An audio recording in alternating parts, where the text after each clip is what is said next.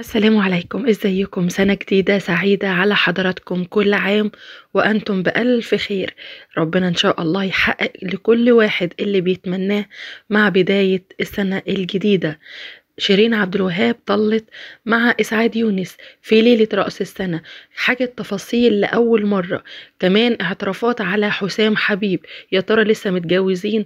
بعد ما حلم بكر أشعل كل مواقع التواصل الاجتماعي وقال هم ما اتطلقوش أصلا وكل ده حوار علشان تمثيلية يعني علشان طبعا يتشهروا أكتر أو يروجوا لأغانيهم الجديدة. لكن استوقفنا طبعا كلام بنت شيرين عبد الوهاب. اللي اتكلمت عن حسام حبيب في تفاصيل لأول مرة تتعرض. والجزء الثاني من الحلقة اللي يا ترى فعلا حسام حبيب هيكون متواجد فيه زي ما الكل قال تفاصيل كلها بعد ما نصلي على النبي عليه الصلاة والسلام. شفنا طبعا شيرين عبد الوهاب مع إسعاد يونس في حلقة اتمنع عنها الإعلانات. خلينا نستوقف عند هذه النقطة. طبعا شيرين رفضت تماما إن الحلقة يبقى فيها إعلانات عشان الناس ما تقولش إنها طالعة تتاجر بأحزانها زي ياسمين عبد العزيز اللي طلعت واتكلمت والحلقة كانت ترند كبير قوي. فناس كتير قوي بتحترم شيرين ورغبتها ده إنها طبعا مش عايزة تعمل كل ده علشان الناس تقول لأ ده أنت عايزة تتشهري أو عايزة فلوس وخلاص. فعلا الحلقة كانت بدون إعلانات. كمان إدارة DMC مع صاحب صاحبة السعادة حبت واحترمت قوي قرار شيرين ونفذته. إيه اللي حصل؟ شيرين عبد الوهاب مش أول واحدة تتطلق ولا آخر واحدة. إيه المشكلة؟ المشكلة الكلام. طول الحلقة شيرين الناس كلها بتقول انت قاعدة طب ما تقولي كلمة حسام حبيب وخلاص. قاعدة بتلقحي وبعتذر عن هذا اللفظ على شير... على حسام. عمالة تقولي ده قماص وابن أمه وتفاصيل كتيرة قوي عن حياتكم الشخصية.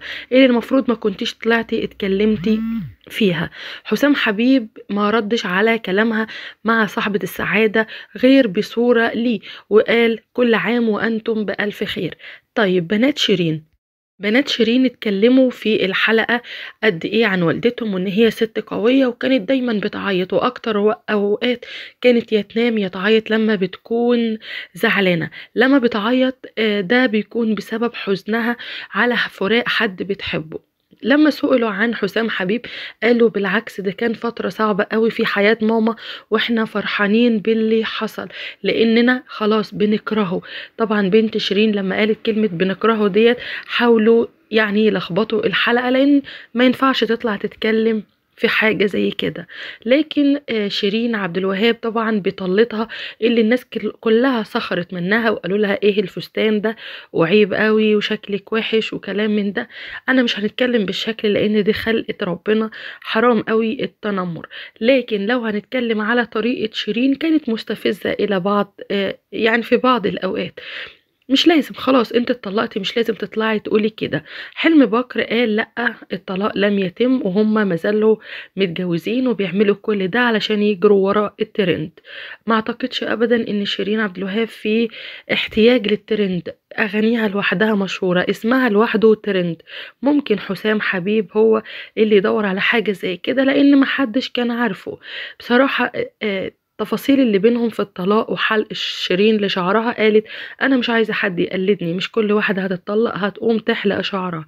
قالت أنا لسه بحبه وهفضل أحبه بس في حاجات منعاني إن أنا أكمل معاه.